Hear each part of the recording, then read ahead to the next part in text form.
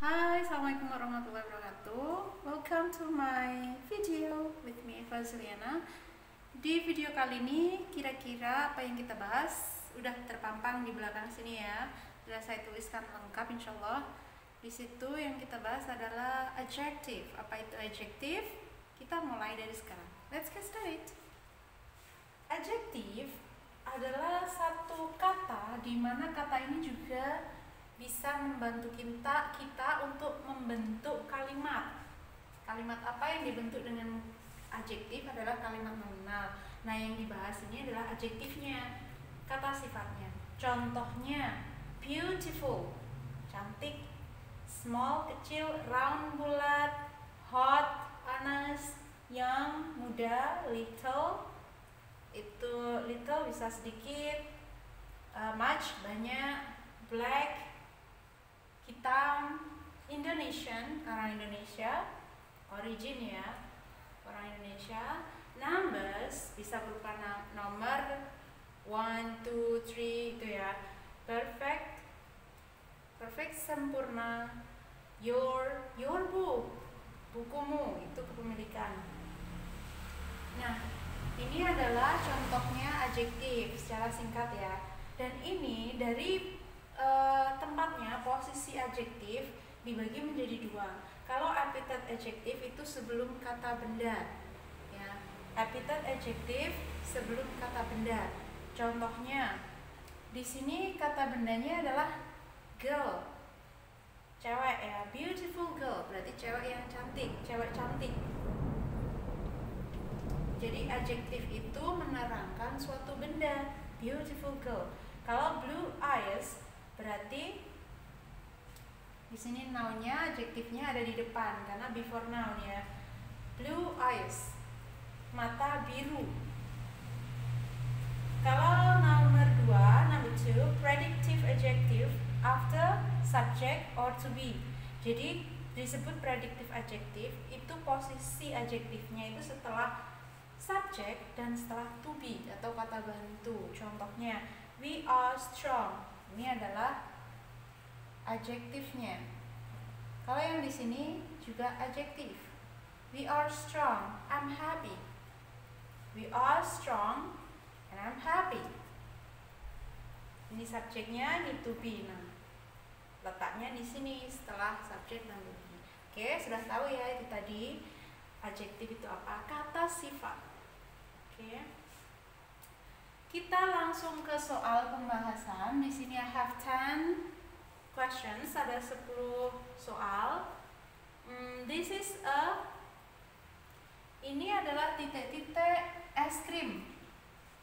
This is a nice ice cream. Ini es krim yang enak. Jadi rasa enak ini juga masuk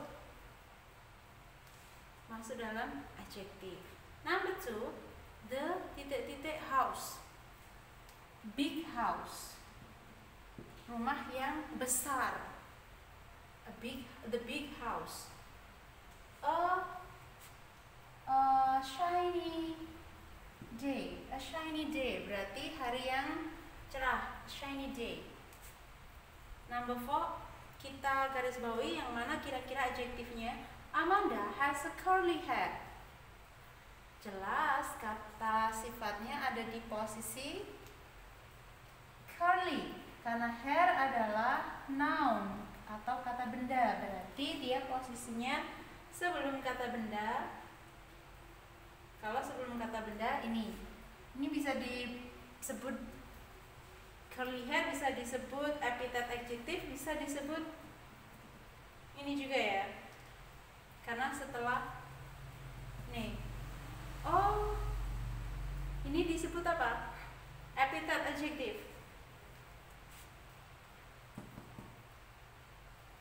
Roy has six balloons.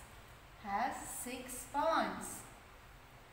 Nah, number ini adalah adjektifnya. Balon sebagai noun. Number six, yang mana kira-kira? I lost my new jacket saya kehilangan jaket baru. Kata yang mana yang merupakan adjektif? Yaitu kata new. sebagai noun. Number seven, Terry has a blue t-shirt. Juga termasuk adjektif. Number eight, kita pilih, kita lingkari yang mana kira-kira yang adjektif. Books, apakah books uh, kata sifat?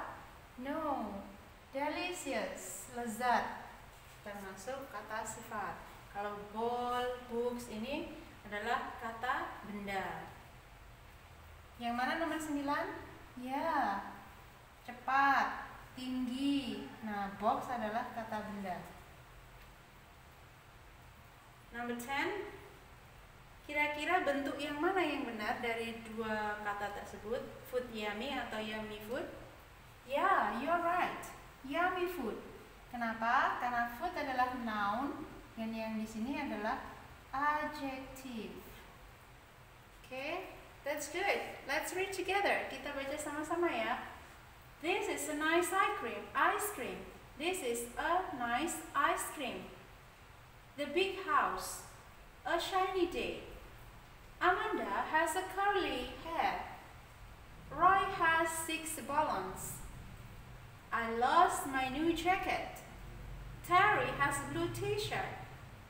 Books, ball, delicious. Vase, tall box. Yummy food.